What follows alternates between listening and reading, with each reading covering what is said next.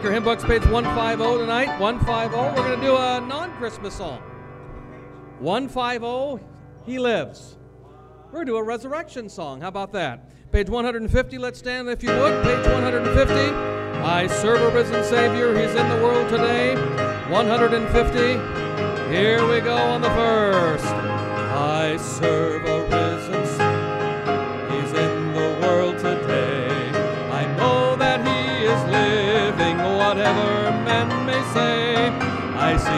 hand of mercy, I hear His voice of cheer. And just the time I need Him, He's always near. He lives, He lives, Christ Jesus lives today. He walks with me and talks with me along life's narrow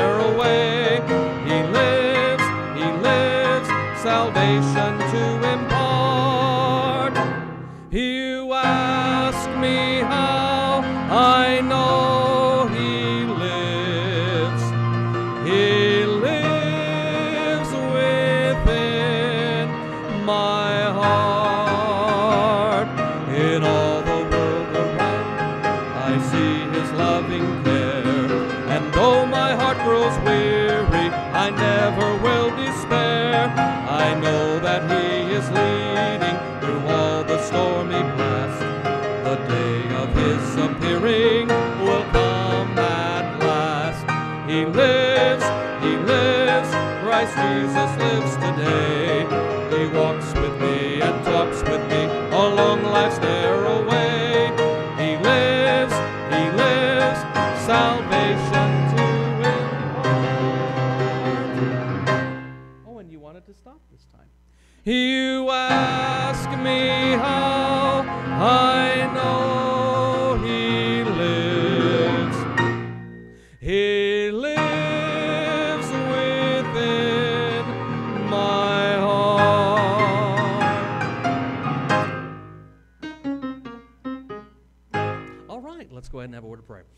Father in heaven, we thank you for the opportunity tonight to uh, come into your presence. Father, thank you for these folks who have come out on a Sunday evening.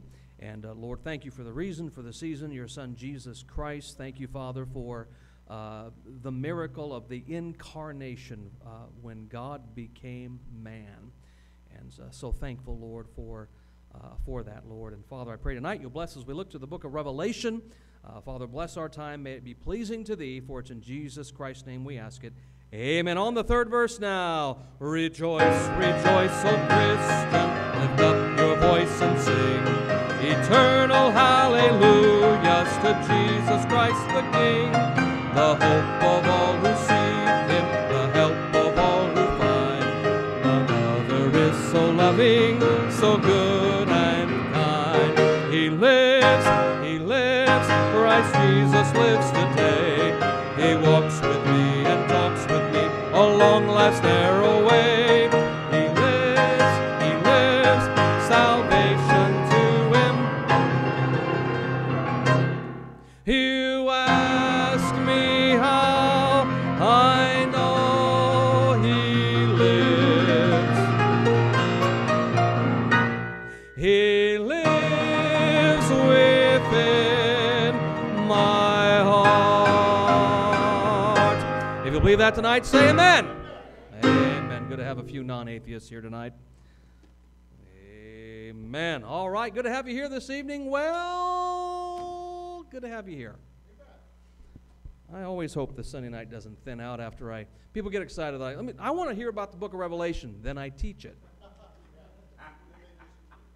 No, that's okay. They'll come back. I know where a few of them are, but nevertheless, good to have you here this evening. And uh, excited about, uh, I think we started off December real well this morning. Amen. Had good services, I think. Great, great sermon. There's no pride there uh, at all. I'm just saying it was a great sermon. Uh, Monica, did you like it? Did you quote it to your husband all the way here? I didn't think so, no, because he doesn't have any issues with pride, does he? No, no, no. He's machismo. So, no, no pride at all. Exactly, exactly. Anyway, um, it's great to see all the Christmas lights up and all. How many of you put Christmas lights up? Raise your hand real quick. All right. Yeah, me too. Yeah, me too. By the way, if if you need your Christmas lights put up and you're lazy, Rob will do it. Right, Rob? Rob will do it. That's uh, Christmas lights extravaganza. Amen. He will put up your Christmas lights for you. All right. Well, listen. Let me give you just a few quick announcements here. Uh, this coming Wednesday, uh, we, we will not have our regular evening service as we normally do.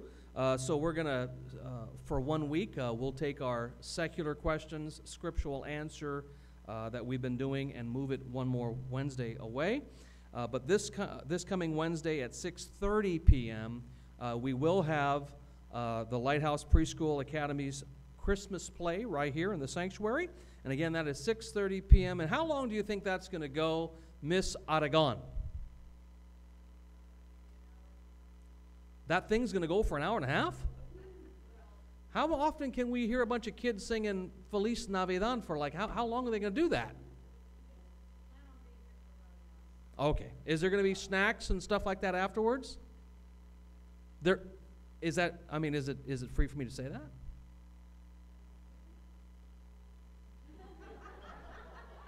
Well, I asked you guys about it last week. Is, is, are we going to do that or not? Okay, we're not. We're not having snacks. So as soon as it's done, leave. Okay? We're not. But if there's snacks here, great. All right? So what's this hour and a half thing, Christine?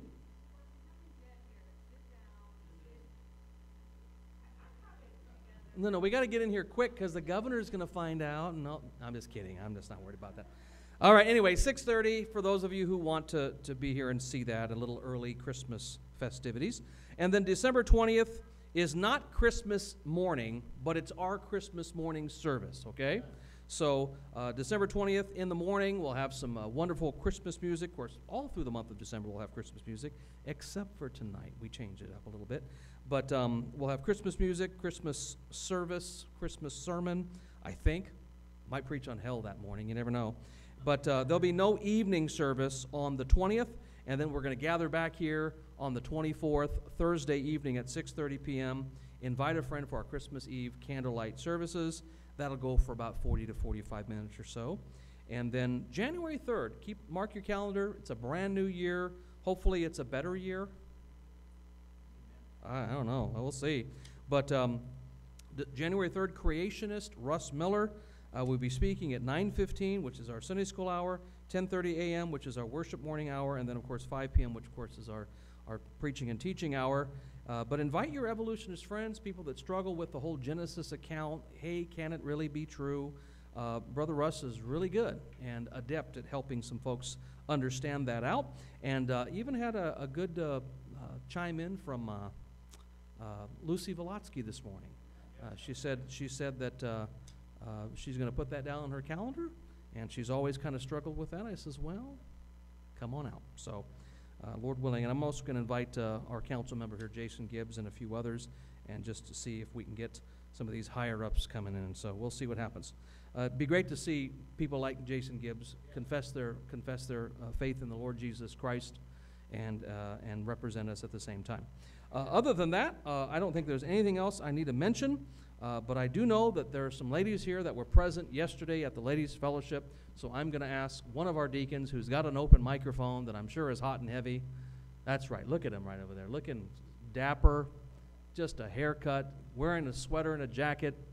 It's a beautiful day in the neighborhood, isn't it? It is. Amen. All right, who's which lady was at the fellowship yesterday that wants to give a quick testimony? We'll go to Monica Zarate.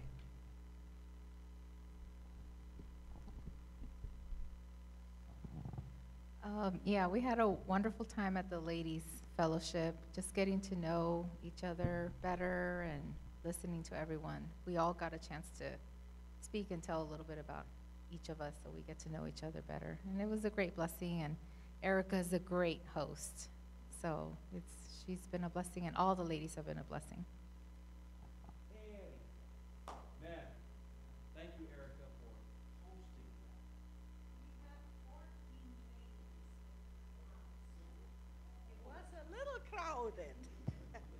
14 ladies.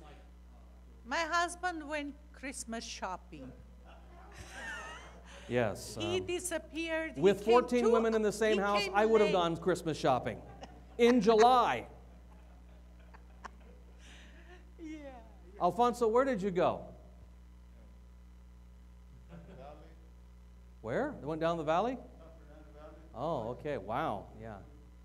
Trying to get away from it all. I can understand that. All right. Amen. Well, praise the Lord. Well, I'm glad that, uh, that you uh, had a good time shopping, and thank you, Sister Erica, for hosting that. Any other lady want to give a quick? Uh, uh, Tim was going to raise his hand, but he wasn't at the fellowship. But go ahead, Tim. This is this is not a fellowship one. Yeah. I just want to thank the, our church for being uh, hospitable to the new people who came today. Lots of, there were quite a few of them, and they felt so w- welcomed and warm, and it's been like a drought for them. They haven't been to church, they haven't been here, they haven't been there, and so uh, we are uh, very much, uh, you know, in their minds, we were very uh, warm and, and, and welcoming to them. I'm just trying to take my daughter seriously. I'm sorry. She walked in. Why doesn't your wife wear those glasses Yeah? I mean, who gave her that stuff? Is that you, Robin? That's you, the one wearing the necktie. That's all right. That's good. All right, that's great. Um, I, I do know that the lady that sat over here, Trisha, there it is right there. I, I don't know why that's so hard for me. Um, she has, I, I, she's coming back. There's no doubt about that. We had a good conversation today, and um, she came out of a Word of Faith church, uh, which means you know speak your miracle, and uh, you know sow a seed and then get back you know a hundredfold, even though even though the preacher is in a jet and you're still driving in a VW, but nevertheless, um, for 15 years she was in a Word of Faith church. And so uh, she started, she just literally in the last year came out of that. And so uh, uh, wanted to find something that was, um, she said, fundamental. And she said, King James. And I says, well, that's us. I don't know how much more us that could be. So um, we're excited about her and, and the potential of these two other folks that came in from Sylmar and uh, down in the valley there as well. So we'll see. The governor says you can't. They did. Yes, they did. They did. We were all stuck in that room singing. I'm excited about our choir number on the 20th. You're going to hear a good choir number on the 20th. You're going to hear a great choir number on, on Christmas Eve. And you're going to hear a great choir number on the morning that Russ is here. So we got choir, choir, choir. Amen. All right. Who else got another quick praise? Or I'll call you. Because that's the kind of guy I am. No? Give one to my wife. Give a mic to my wife. She needs to talk a little bit. Yes, dear, talk. It's good for you. Well, my daughter's harassing you with Robin's stuff. Well, I thank the Lord for my salvation, and um, yesterday was, was really a blessing. We've had uh, some ladies who haven't come before. We um, and so it was, it was a nice group of ladies, and it was a wonderful time of fellowship. And it's a great time to um, just get out of the world and um, just give each other's testimony, know where everybody's come from and what's happened to them this past year, and it uh, definitely creates a bond. And so um, it's really it's really nice and it's really a blessing amongst ladies to be able to, to have that. So I'm thankful for everyone who made it and uh, was a part of it, and thank you, Erica, for just organizing it. um, Robin gave her that. yeah. For organizing it and opening up her home and um, just even sending out invitations to the ladies and um, just going up to almost probably more than half the church and inviting everybody personally. So um, it's just a, a blessing that someone has stepped up in the church to, I can't do wait that. till you invite them up to Acton. All right. What's that? No, just go to the back be with a horse. Maybe go shoot some quail. All right, who else got another quick, uh, at least one more? Oh, Dennis, way in the back there, uh, Ron. Ron, Ron, Ron, Ron, Ron, Ron, Ron, Ron, Ron. Run, Ron. I'll get trouble for that. I praise God that the ladies were able to get together and fellowship and really get to know each other better. But I do ask that uh, they come back to the church because I always enjoy tasting their treats before their meeting when I bring them their drinks. Very But- good. But thank you, Erica. Touche. For taking away my, for taking away my meal on Saturday morning. Touche. All right. I don't think there's a. Oh, hermano, Jose. Yeah, I'm just grateful for, for uh, God's love for us. Um, he answers prayers. Got a um, Christmas card from Pastor Preston this week, Amen. and there's a little insert where they detail their trip going east and certain things that happened. Their uh, RV broke down. They had to come back. And this is on the onset of the uh, Corona thing and all that. So you think, okay, now we got to pay for repairs. But God's plan was to bring him back home and keep him from, you know, getting exposed to a bunch of things out, you know, on the trip. And this goes to my daughter. Uh, a couple of weeks back, her boyfriend came to visit from Arizona. Unknowingly, his mom had tested positive. Came to visit and uh, went back to Arizona two days later on a Sunday. And my daughter was kind of, you know, upset to find out that his mom had tested positive, and he lives with them. Mhm. So she tested, uh, came back negative. He had symptoms, and she tested again, uh, and came back negative. But you know, I praise God for that. Yeah. And I know Monica was praying a whole lot for her too. You know, it's just that uh, God takes care of us uh, unknown, you know, to us in different ways. Amen. You might think, you know, well, you know, it should have been this. But Father knows best, you know, and I praise Him for everything He does for us, everything that He gives us, all that we have. Amen. You know, and I don't think there's enough prayer and, and, and thankfulness to appreciate what He does for us. Amen. Praise the Lord. Almost sounds like a testimony should have been given last month, but it's a testimony that can be given every month. Amen. If, if, you want to. You got a credit card? Let's go. All right, let's go. Because I just don't want to go get socks. So, um, we did help Brother Preston out with some of the some of those uh, RV issues back in the early part of the year, because he called me. He knows who to call, and so uh, we helped him out with a with some with some money on that. And uh, uh, let me also just say this in passing, as we as we're going to Revelation chapter one in your Bible, um, I did get. Um, some of us know who Paul Chappell is up at Lancaster Baptist. Some of us don't. Uh, but um, you know, we have a little bit of a love-hate relationship. But nevertheless, eh, he's a brother in Christ. There's no, there's no other way around that. Uh, but the fact of the matter is, um, his mom passed away uh, about a week or so ago. Uh, Maxine Chappell. I've known her and Larry, his dad, for 40 years.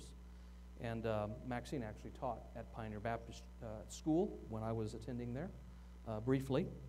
And, uh, and then uh, he found out uh, as he was there doing the funeral that he uh, contracted the coronavirus.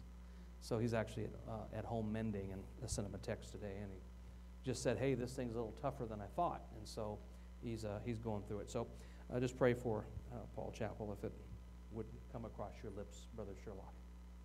Yes, exactly. All right. Revelation chapter 1 tonight. Only a handful are going to understand that one. Giraffe. Uh, Revelation chapter 1 and verse number 12. We ended at verse 11 last week where it talks about these, these seven churches uh, that chapters 2 and chapter 3 is going to be all about. Um, and you'll notice that we're going to actually finish chapter 1 today, and you're probably thinking that's pretty amazing. Uh, it actually is, because uh, this whole section needs to be exposited together. Uh, it really can't be cut up in pieces. I guess we could, but I don't think it would be fair to the text. Uh, so in verse 11, everyone there say amen? amen? All right, in verse 11, we've got the Alpha and the Omega, that's the Lord Jesus Christ. And he says to John, What you see, write in a book and send it unto the seven churches. And he mentions them, Ephesus down through Laodicea. And we'll have a lot to say about those seven churches when we get to those two chapters, uh, starting uh, next Sunday night.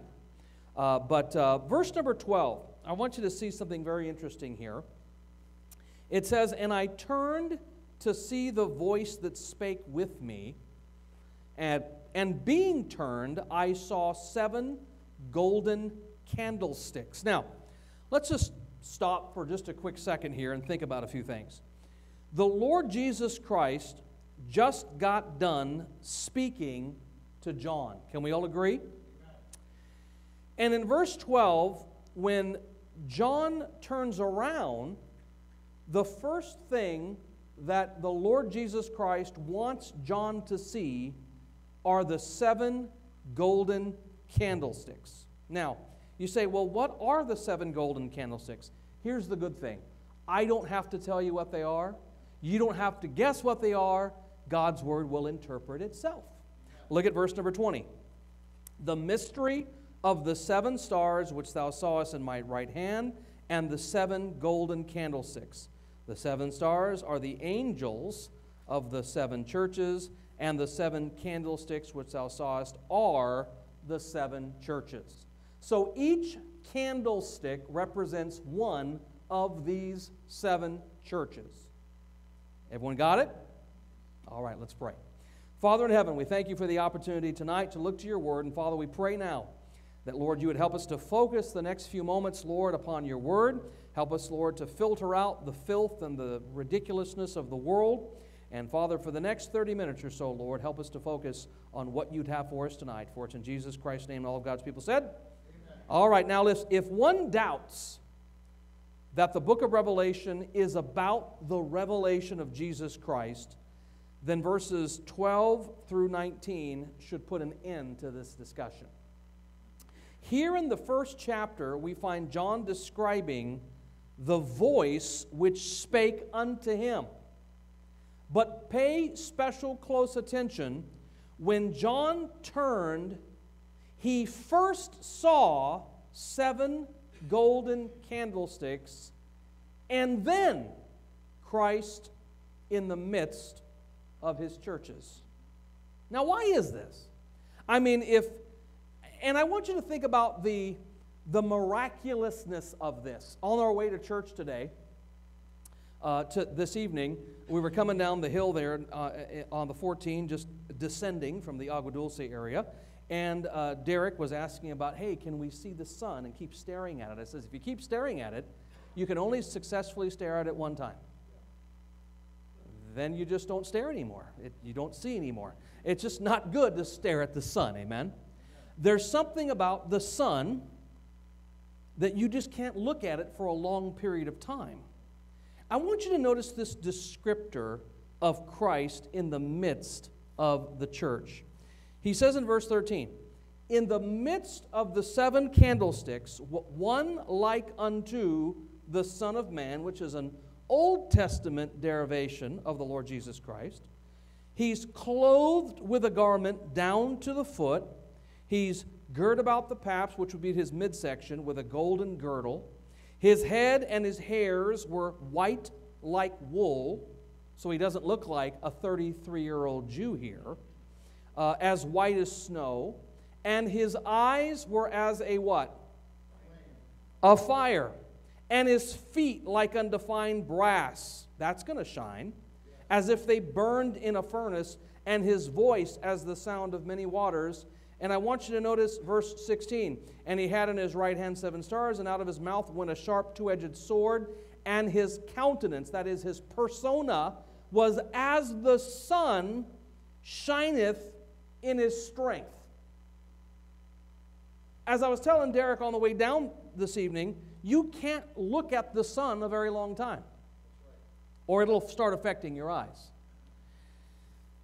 Jesus Christ is in the midst of these churches, these seven golden candlesticks, and he's so bright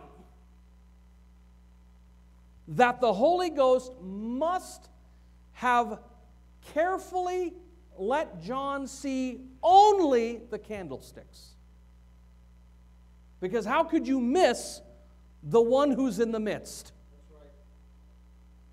So, again, why is this? Why, when John turns, does the Holy Spirit of God have John focus on the candlesticks as opposed, at least initially, to the one in the midst? Well, the truth is apparent. Christ is made clear and Christ is focused through his churches. I'm going to say something to you, and you can get all mad if you want. You can't have a successful walk without an assembly. Let's all rattle our heads so I can hear it. Yes, you cannot be a lone ranger Christian and think that Christ is going to be in focus all the time.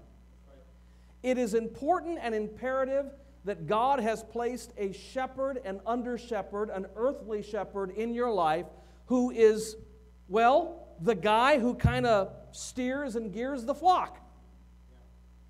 And I think it's important to understand that, that you can have a Christian walk, but I think that it's important that you understand also that it's better with an assembly. It's much better. Christ is made clear and is seen through his churches. Christian, is the church you're attending making much of Christ? Is Jesus Christ the sum and the substance of the church where you attend? If he is, then Christ will be in the midst of that church. If Christ is not, and that church is not doing its due diligence, Christ can now remove that candlestick from the presence. And you say, what does that mean? Look at Revelation chapter 2, verse number 5.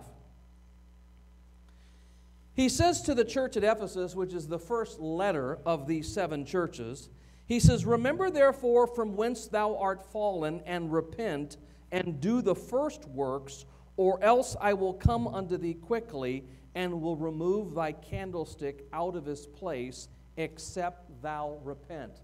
Now, here's what's good about that that isn't saying you've lost anything. What he's saying there is that you lose the ability to be a church. Now, I want you to listen to me closely. Don't turn me off, and, and, and don't think that I'm being mean about other groups. Not every church is a church. Now, listen. When that candlestick is removed, that means that that institution on earth, which we call the church, which Christ instituted, if that institution is not faithfully proclaiming and is faithfully rooting out false doctrine in their own midst, which these seven churches have some false doctrine. One church is letting a woman named Jezebel teach a bunch of heresy. There's one church over here that's getting, you know, getting fancy with the Baalites over here and the Nicolaitans, and uh, we'll get into all those groups when we get into those chapters. But just know that these churches have got, at least six of these churches have got some doctrinal issues. So if a church is not making much of Christ, proclaiming Christ, and is not rooting out false issues in their church, then Christ looks at that and says, You have failed to meet the criteria of what a church is, so I'm removing your candlestick. You've ceased to become a church. That's the way I look at that. Now you say, well, what's another way to look at that? Well, you can say that you've lost it, which I don't think that, that's what it means. Let me put it to you this way Do you really honestly think that thing over in Rome is a church? I mean, honest to goodness, when we get to Revelation 17 and 2050, you didn't catch that, did you? When we get to Revelation 17, at some point down the road, you are going to be convinced that Rome is an infiltrator, not a religion. I'm telling you, that thing is not a church. However, however, if Satan is going to imitate something, he's going to do it through that thing. And, it's, and Satan has been a grand imitator from the garden until now, until he throw, he's thrown into the lake of fire. He's always imitating or trying to closely resemble that which is Christ's. And when we get there, we're going to see those things. So I want you to understand that when John hears this voice that is speaking to him about writing these letters to seven churches, the Holy Ghost of God arrests John's attention on the churches. And then sees Christ in the midst of them. Now, listen. If a church is not preaching and teaching doctrine, then it has no claim to being a church. Now, let me explain that to you. 1 Timothy chapter 3 verse 16. All scripture is given by inspiration and is profitable. First thing out the gate, doctrine. There is for that's 1 Timothy 3:16. There is no way that a church can effectively be a church where Christ is in the midst, that's, that the candlestick is there, if it is not teaching and contending for doctrine. And when something false comes into the assembly, it is up to the pastor and leadership of that church to root and fester that thing out before it gets worse. We've had that happen in our assembly in 18 years. We've got an escapee right here from it right here tonight. Amen. So But the fact of the matter is when let me put it to you this way. When you're in a Bible believing church and you've been in one for a long time and somebody comes up and says something that's a little off, your little scripture perceptors kind of go, hmm, I don't know about that. huh, maybe I should talk to him before I judge him. I'll ask him what he means by that. Maybe he can clarify. But when somebody says to you, well, the Holy Spirit does not indwell the believer. He only indwells the assembly when we're corporately gathering.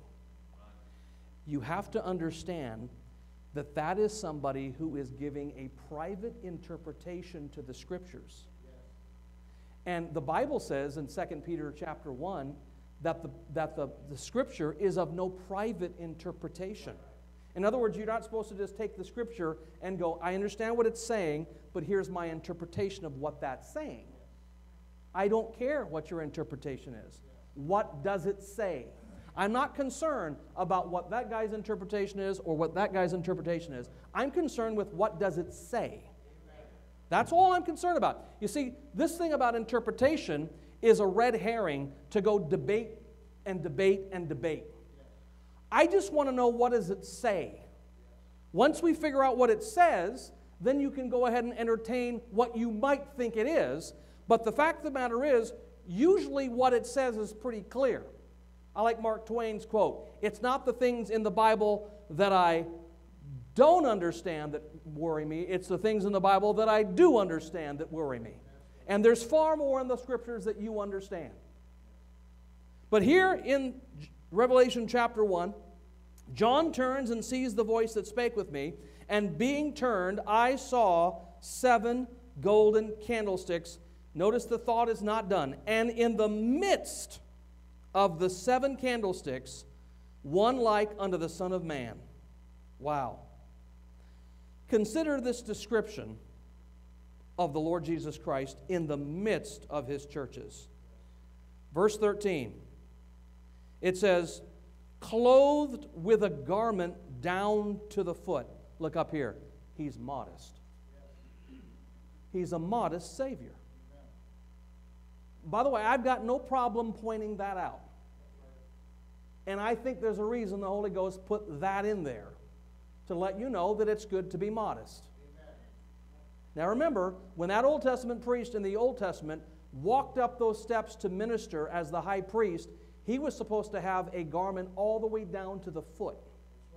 You say, why? Because God did not want any flesh showing as you're worshiping. Look up here. I wonder if the modern church even understands that.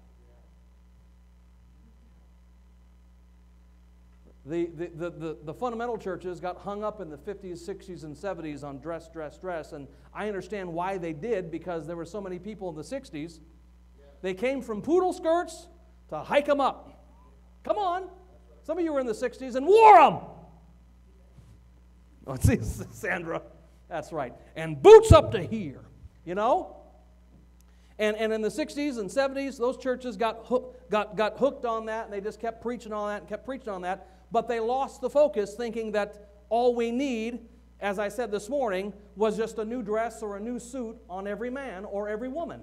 No, we need a new man and a new woman in every dress and every suit.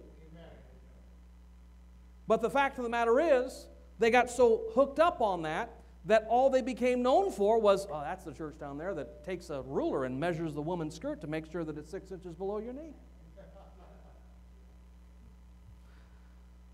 And, and, and, I'm not saying that all of that was bad. I'm just saying that some of it turned into a cultic mentality. It just got a little nuts. Okay? I'm all for modesty. Look at this verse, verse 13. One like a son of man, clothed with a garment down to the foot, girt about with paps with a golden girdle. That's his midsection. His head and his hairs were white like wool, as white as snow, and his eyes were as a flame of fire, and his feet like unto fine brass. Brass in the Bible is a type or a picture of judgment. And it's clear that there's judgment here. Because when he sets his foot down on the Mount of Olives, judgment's going to happen. And he says, And his feet like unto fine brass, as if they burned in a furnace, and his voice as the sound of many waters. Uh, the only thing close that I can even get to is Niagara Falls. Some of you have been to Niagara Falls and have been close enough to where you've got to go like this. Pretty nice looking falls, huh? You say, why? The, the, many waters falling. And that's the descriptor that is the scripture that is given here. His voice is as a sound of many waters. And he had in his right hand seven stars. And out of his mouth went a sharp two edged sword. I wonder what that is. I wonder what that is. It's the same two edged sword that comes out of his mouth in Revelation 19. And then it says this And his countenance, that is his appearance, was as the sun shineth in his strength. That descriptor is an awesome descriptor. The description that you're getting there is not of the 33 year old Jew that died in 33 AD with, with brownish hair and, and, and olive toned skin. Um, the description that you're getting here is what the Old Testament calls the Ancient of Days. You say, where is that? Keep your finger in Revelation. Go to Daniel chapter 7. Daniel chapter 7. The descriptor that you're getting here is somebody who has been through it. Daniel 7 and verse number 9 says this And I beheld till the thrones were cast down, and the Ancient of Days did sit whose garment was white as snow, and the hair of his head like the pure wool. His throne was like the fiery flame, and his wheels as burning fire. That is something underneath him. A fiery stream issued and came forth from before him. You say, what was that? Oh, probably a sword out of his mouth. Thousands, thousand thousands ministered unto him, and ten thousand times ten thousand stood before him the judgment was set, and the books were opened. What you're getting a description there in Revelation chapter 1 is what Daniel saw in Daniel chapter 7, which is the Ancient of Days, Jehovah God, in all of his radiance, in all of his beauty, and in all of his righteousness. And may I say to you that I believe that John, Peter, and James saw the same thing in Matthew 17 on the Mount of Transfiguration. If you remember Peter, James, and John, were taken up apart from the other 12, and they were able to see Jesus Christ transfigure into the former glory that he held before he took on flesh. Then I want you to notice verse number 17. There's only one reaction you can have when you see something that has been described as you see in verses 13 and 17. And the description is this When I saw him, I fell at his feet as dead. Now look up here. He didn't fall back like the Pentecostal churches. Come on. He didn't fall back. No apostle, no friend of Christ ever fell back. Now, the foes of Christ, they fall back. But the friends of Christ, they always fall forward in complete and utter adoration of what they see. John's reaction to this high and lifted up revelation of the person of Jesus Christ, Jesus did not, uh, John did not high five Christ. John didn't say, What's up? John reacted as any child of God should react when you are in the presence of 100% holiness and 100% righteousness. You bow in awe. There's only one reaction to that. You say you want to see that in the Old Testament? Sure. Let's go to Isaiah chapter 6. Isaiah chapter 6. Show you the same picture, just a different view. Isaiah's view of it. Isaiah chapter 6. Look at verse number 1. Isaiah chapter 6, verse number 1. In the year that King Uzziah died, I saw also the Lord lift, uh, sitting upon a throne, high and lifted up, and his train filled the temple. Now, listen, uh, for the past several months, we've all been getting on the Trump train, but everybody needs to get on the Jesus train. Amen? His train filled the temple. Above it stood the seraphims. Each one had, by the way, seraphims have wings, angels don't. Above it stood the seraphims. Each one had six wings. With twain or with two of them, he covered his face, and with the other two, he covered his feet. And with the other two, they did fly. You say, six wings? Yeah! That's a weird looking creature, amen? One of these days, you'll be able to see one. One, one cried unto the other and said, Holy, holy, holy. You say, Why three? One for the Father, one for the Son, one for the Holy Ghost. Is the Lord of hosts. The whole earth is full of his glory. The post of the door moved at the voice of him that cried. You say, why? Because it's a voice of many waters. And the house was filled with smoke, and it wasn't Marlboro 100. Verse 5 Then said I, Woe is me, for I am undone. You say, what happened? Isaiah got to see a picture of himself while looking in the mirror of Jesus Christ.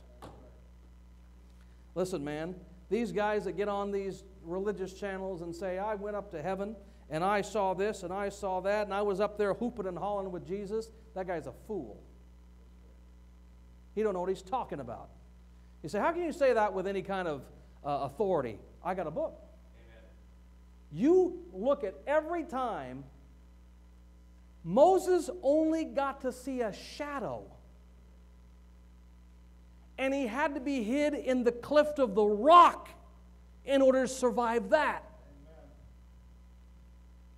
You just don't die and go to heaven for about 30 minutes and hoop and holler with Jesus and get on your surfboard and hang 10 with him. No!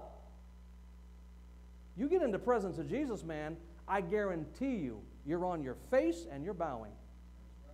And there's no other way for you to react.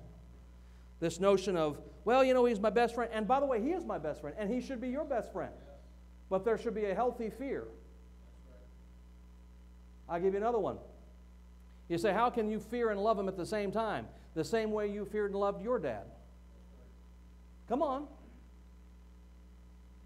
I, I loved my dad, but there were moments when I feared him.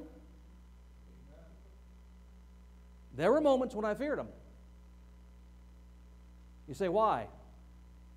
He had an irrational anger. that would sometimes explode like Mount Vesuvius. And if you got in the way of the lava, then you got burned. But that doesn't mean I didn't love him. Now, if you can do that with your earthly father, why can't you do that with your heavenly father? Amen. Back to Revelation chapter 1. And when I saw him, I fell at his feet as dead. And he laid his right hand upon me, saying unto me, Fear not, I am the first and the last. Now, let me say something to you real quick. If you're a believer and you get into God's presence, there's nothing to fear. You said, but wait a minute. But I've se- I understand all that. I understand all that. But there's nothing to fear. Look at verse 18. I am he that liveth and was dead. And behold, I am alive forevermore. Amen. And have the keys of hell and of death. Okay, now here we, here we go. Verse number 19. Write the things which thou hast seen, and the things which are, and the things which shall be hereafter. All right? Do you remember back in the first time we, we assembled for this study? I said that it's important that you rightly divide things. 2 Timothy chapter 2, verse 15, study to show thyself approved unto God, a workman that needeth not to be ashamed, rightly dividing the word of truth. Well, here, the Lord Jesus Christ divides it out for you.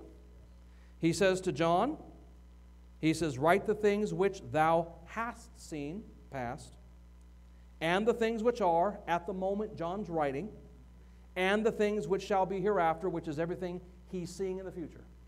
All right?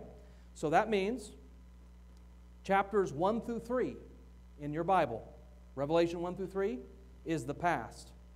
Why? It's already happened. Revelation 4 through 19 is the present, things which are from John's perspective. And then Revelation 20 through 22 is the future, things which shall be hereafter. There's your breakdown. 1 through 3, the past, has seen. Revelation 4 through 19, present, things which are. Revelation 20 through 22, future, things which shall be hereafter. You say, why is that important? Because that's going to help you divide the whole thing. It's going to help you divide the whole thing. You know what's funny? I didn't even have to divide it for you. Jesus divided it for you. It's real simple. Now, look at verse 20. And we'll be done here. Look at that 10 to 6. What a grace. The mystery of the seven stars which thou sawest in my right hand and the seven golden candlesticks. Now, we know what the seven golden candlesticks are. They're the churches. And he says the seven stars are the angels of the seven churches. Now, your guess is as good as mine. I guess we can now go into interpretation. Amen? Um, the closest thing I've ever got to something that sounds halfway decent about who those seven stars are is that every church that is a church has an angel representing it in heaven. There's an angel that represents the Freedom's Way body. Why not? I'm not saying that's so. I'm just saying that's the best argument I've read on this argument. And, and there's an angel that represents, and they're in Christ's hand. Okay?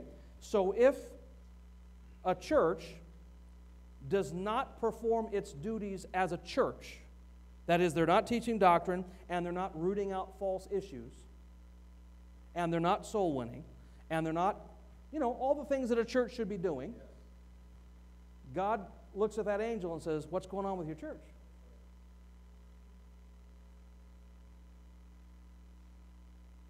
He says, Now, now, now get them, get them in order before I remove the candlestick. Now, I don't know if all that's true, but it's about as good as anything else I've ever heard on the subject. Amen. Now, if you got a you got a take on that, that's great. But all I could, I heard people say, well, the candlesticks are the pastors. That's good. Well, that's great. Problem is, I'm not in his right hand. I'm actually in, I'm actually in his body. I'm not his right hand. You ever thought about that? I'm not in his right hand. I'm part of his body. You ever read Ephesians chapter 5? I'm bone of his bone and flesh of his flesh. So I'm not in his hand, I am his hand. Will that help you on eternal security? I want you to think about this.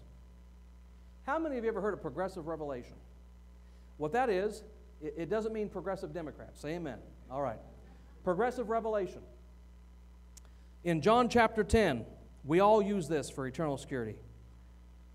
Jesus has us in his hand. And then the Father, who's greater, has Jesus in his hand.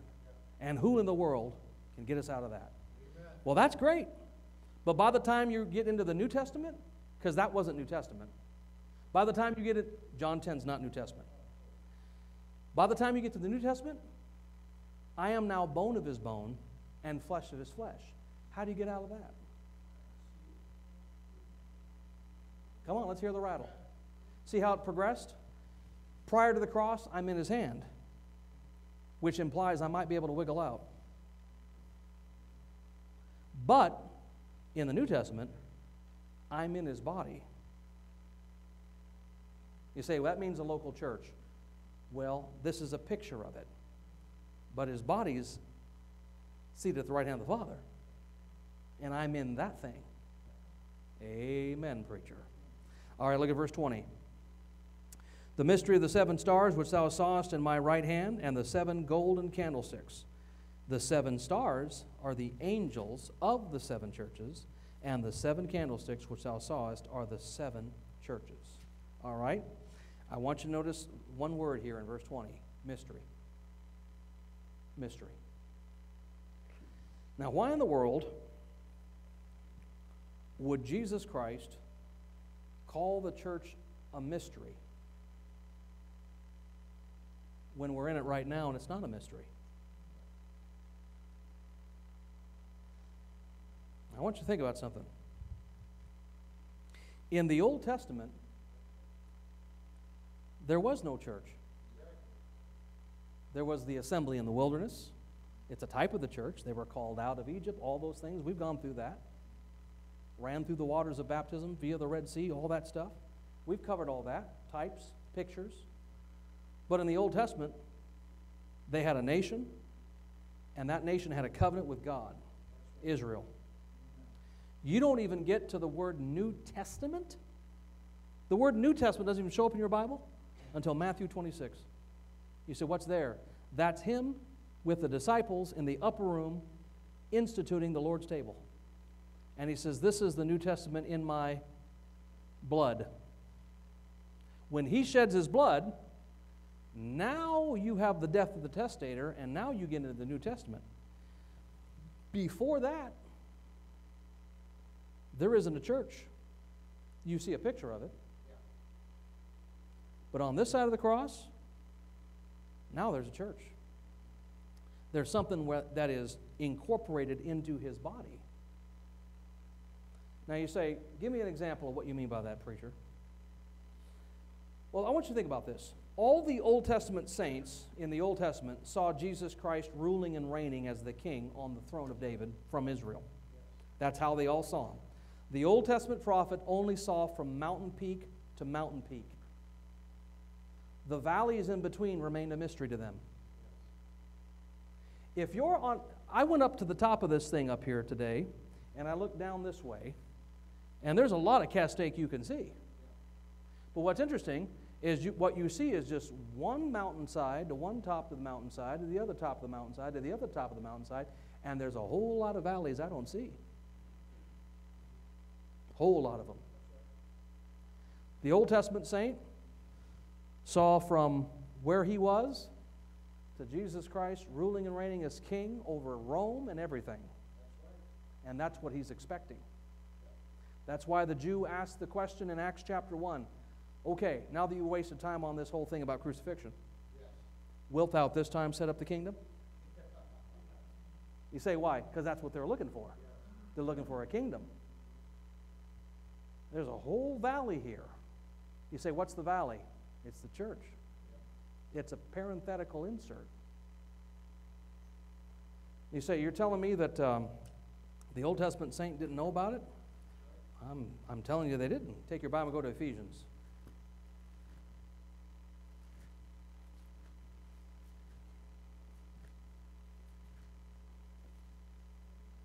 Ephesians. Just go there. I'll find it when I get there. All right, here we go. Verse number 1 of chapter 3. We'll go to Colossians in just a second. Ephesians chapter 3, verse 1 For this cause I, Paul, the prisoner of Jesus Christ, for you Gentiles, if ye have heard that of the dispensation of the grace of God, which is given to me to you, how that by revelation he made known unto me the mystery, as I wrote afore in few words whereby, when you read, ye may understand my knowledge in the mystery of Christ, which in other ages, translated Old Testament, was not made known unto the sons of men, as it is now revealed unto his holy apostles and prophets by the Spirit. And what is that thing? That the Gentiles, non Jews, should be fellow heirs and of the same body and partakers of his promise in Christ by the gospel. Then he says in verse 7 Whereof I was made a minister, according to the gift of the grace of God given unto me by the effectual working of his power, unto me who am less than the least of all saints. You say, what was Paul saying? He says it here and he says it in Colossians chapter 1 that there was a mystery that no one knew in the Old Testament. Christ kept it hid. When Jesus Christ died, he instituted the New Testament, and now we're not under an Abrahamic covenant, we're under the covenant of the New Testament, which is through his blood. You say, what happens there? Well, I beca- when I get saved, I become part of his body, but that's not enough. I've got to find a body down here that best resembles that thing. Right? Now, let me give you an example of that. Let me tell you how this is a picture of that body sitting at the right hand of the Father. Two times a year, three times a year, we assemble and we gather leavened, unleavened bread and grape juice. Is that really his body and blood? Then it's a picture. So's this. All right, when you get baptized, is that your salvation? No, it's a picture. All right, so is this. So is this. It's not the real thing. You say, what do you mean it's not the real thing? I mean, what I'm saying is, when I die, do I cease to be part of the church? No, now I'm really in it. Now I'm really in it, not just the picture. Just when I break out my wallet, you know, and I say, "Here's a, here's a, here's my wife," and the guy says, "No, that's not a wife. That's not your wife. That's a picture of her." That's true. It's just a picture. This is a picture. Remember my sermon from last week about body, soul, and spirit? I'm not really looking at the real you. The real you is under you. All right. A little too much for tonight, amen. Now let me uh, let me end it by saying this. Now here's what's the interesting part. I want you to get this. And if you miss it, I'm sorry. The entire New Testament is about Paul revealing the mystery. So, why, when we get to Revelation, does it go back to being a mystery?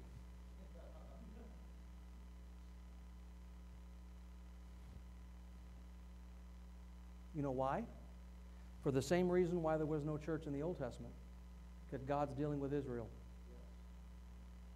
And it's a different covenant.